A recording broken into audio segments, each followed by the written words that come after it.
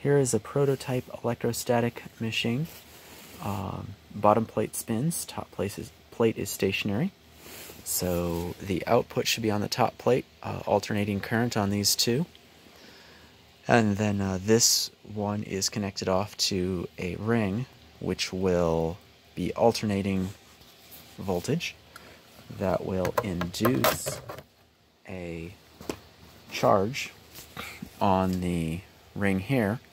I've got 20 kilovolt diodes on each side, so one of these ends up positive, the other ends up negative. Uh, the forward voltage on these guys is about 45 volts. So, if I accidentally load my output to less than 45 volts, I am at, I'm sorry, 90 volts, I imagine the whole thing will just simply quit working. So I've got to come up with a high voltage alternating current load that's not going to drop the output too much. Anyway, I'm going to have to think about how to test this thing.